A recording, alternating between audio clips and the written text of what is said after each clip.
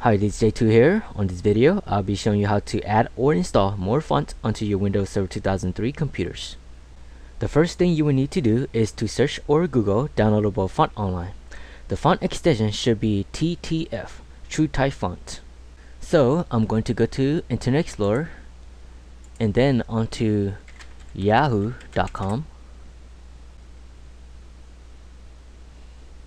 and then I'm going to go to search and search for font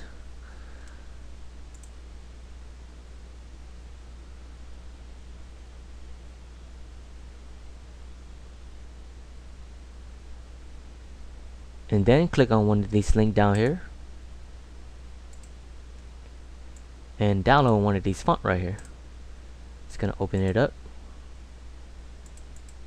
And then copy it to the desktop. Then I'm going to go to start. Control panel font. And then just drag and copy it to the window. And it'll automatically install the font onto the window. And that's about it